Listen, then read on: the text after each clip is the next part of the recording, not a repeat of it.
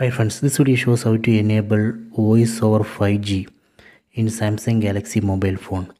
Please don't forget to subscribe this channel. Please like and share the video. Go to settings. Tap on the settings app icon. Select connections. Select mobile networks. Tap on network mode. So here we have to select this first option 5G auto connect tap on 5G auto connect done. Now I have enabled 5G network in this Samsung Galaxy mobile phone.